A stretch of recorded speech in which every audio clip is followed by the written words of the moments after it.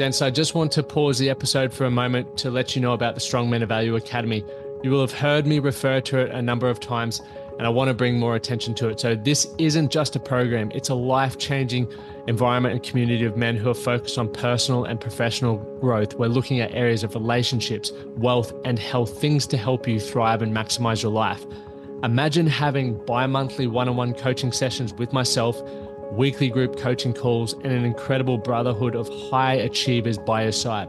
Now, we're diving into resilience, leadership, and holistic growth to not just succeed in your career, but to thrive in your health and your relationships. Your journey to greatness, it starts here. So join the movement and you can apply for the Strong Men of Value Academy. You can head to the man to find out more. Man That Can Project podcast, a podcast empowering career driven men to live more fulfilling lives. We are here to challenge your beliefs, redefine success, and talk about the important stuff in a relatable way. Don't forget to subscribe and leave a review. My name's Lockie Stuart. Let's get into it. Have you ever considered this? when you're thinking about social media and maybe even why I post so much, people wonder why I really enjoy social media. And I remember listening to Gary Vaynerchuk a few years ago, and he goes, Isn't it so exciting that we now have a way that we can document our lives so that one day our children can see us growing up? And there was a moment where I was thinking, actually, I couldn't give two shits. But then I thought about, hey, how cool would it be if I could just jump on YouTube or even a podcast and I could see my parents uh, living their life. Like, you know, as much as you sit down and get to, chat with people about it, there's so much that's missed. And I believe that, um, you know, for me personally, I'm just so excited that I've heavily documented through photos, through audio, through video, uh, that one day my children will be able to go through and just see my own growth, my own journey, and where I was at in my life. So that I hope a lot of the lessons and experiences and vulnerability that I shared really empowers them through their uh, upbringing, uh, which is something that is very exciting and something that I thought about. And just before I dive into today's episode, we're um, we're talking about three gifts that you can leave, or as Jim Rohn talks about, three treasures that you can leave. Uh, that was one thing that I was thinking about, and I was reading a book yesterday uh, on the way back from a Bucks party. So it was an audio book, so listening, and I was just like, wow, this this really needs to be shared with people because it just highlights uh, what I guess, treasure two or gift two is, which is um, books. And I'll, I'll talk about more of that in a second. But for those who don't read and for those who don't take photos and the various other things, challenge yourself on that. It may be a belief that you want to uphold, but it may also be a belief that you've never really challenged before or never taken a different perspective on it. And uh, hopefully, some of these things today will really empower you to look at it a little bit differently and potentially uh, leave a leave something else to your legacy. So let's talk about those three ch- treasures. Right, the first one was record your events, and the way I look at it is for me, f- photos and videos. Right, photos speak a thousand words. It captures your uh, facial expressions, what was going on around, and it really helps people uh, put things into perspective. As much as you're, unless you're a brilliant storyteller, which you know I wouldn't consider myself, and I always leave a lot of detail out a picture and go, hey, look at this. And then someone else can go, wow, it looked really cold there. It looked, geez, that's a nice beach. And then who were you with there? And it really captures those moments, right? It really helps set memories in stone forever. And I think that's um, pretty cool. And I guess something for you to think about is imagine if your parents could give you thousands of photos of their life, who they were hanging out with, the experiences that they got to have It'd be awesome to look at that and just even use a photo as like, hey, mum or hey, dad, you know, look at this photo. Tell me more about some of the experiences that were going on at this time. And it really rejigs those memories. And like I said, I'm very excited because I use use social media and uh, document a lot of stuff to be able to share and have those conversations in the future. Uh, so that first point, that first gift that you can really add on to your legacy or that first treasure is recorded events, right? From moments frozen in time. So whether it's photos, videos, audio, uh, there's definitely a lot of stuff to think about there. Number two, books. I am looking right behind me as I'm recording this, and I've got a pretty decent library. uh, not to brag, but I've only accumulated that since 2014. So it's 2022, 88. And I've read those, and that doesn't include all the audio books and the books that I have on my Kindle.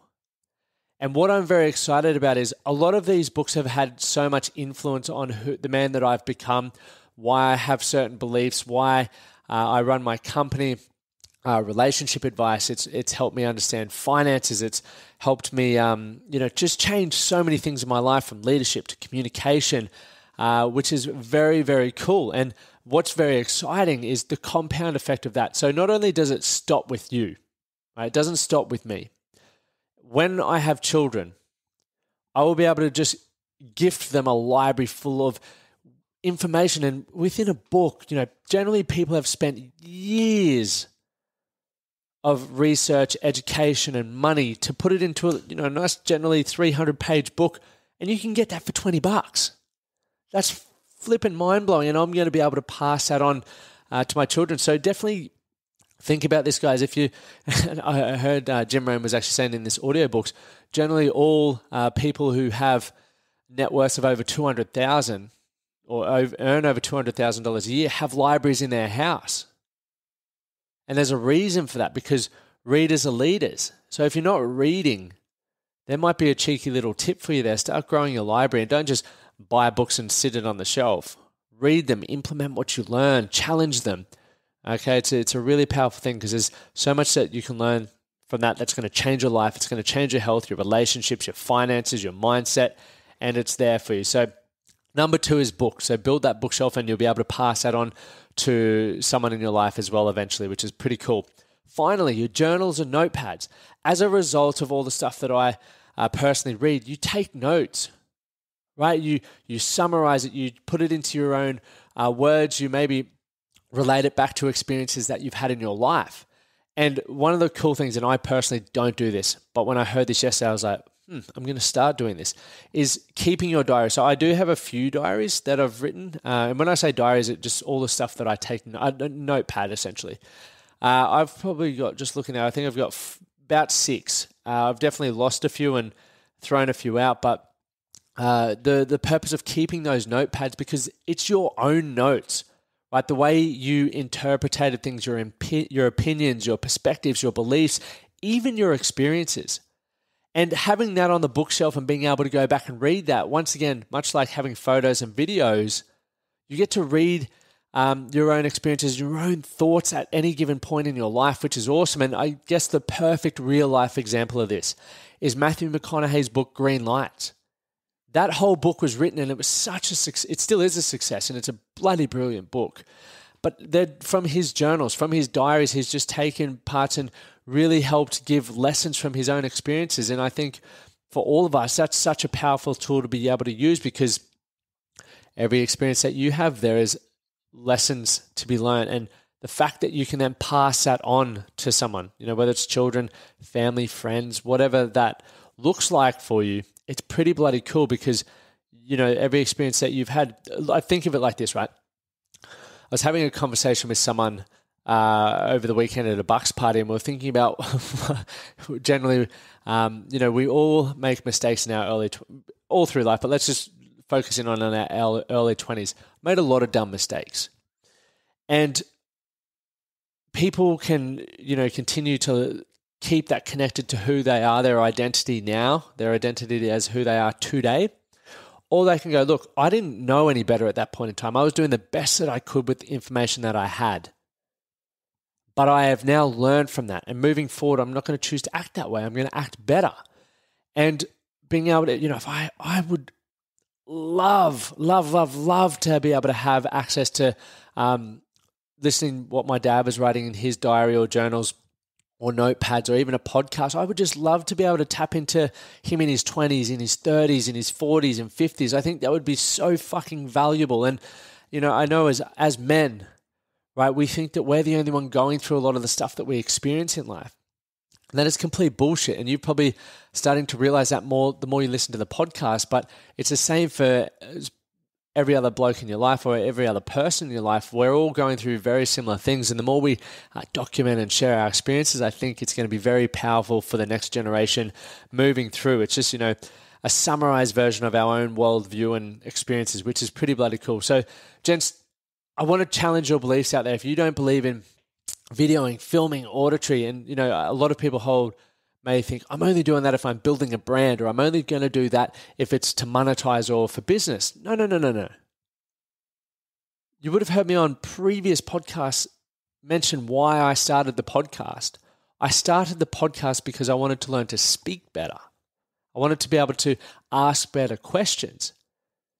And it's grown into what it is today as a result of that. But it was, yeah, it probably was around three years ago when I heard that Gary Vaynerchuk interview and he mentioned, hey, how cool would it be if you could listen to your parents' lives through audio, video, photos uh, better than we could have? And we now live in that time in history where we all have access to being able to do that. So it's pretty bloody cool. So something to think about that there's three real treasures there that you can leave as an add-on or as a legacy to your children. And as I've mentioned, I'm very, very excited uh, to be able to pass a lot of my learnings and all the inve- investing in myself that I'm doing and understanding onto the next generation because I believe it's going to help them leapfrog where we are today. And that's what we want, right? Really, we want to just leave the world, uh, people in a better p- position and situation than what we came into. And I think this is a great, great way to be able to do that. If you got value from this, please share it on your social medias. Also, leave a review. Spotify is now doing reviews. You can leave it there, but we've also got a heap of Spotify, uh, Apple Podcast reviews and ratings. So I really appreciate it when you take the time to do that. And until we meet next week, have a ripper week. Take ownership, take responsibility, and continue to put your best foot forward. Thank you for listening to the Man That Can Project podcast.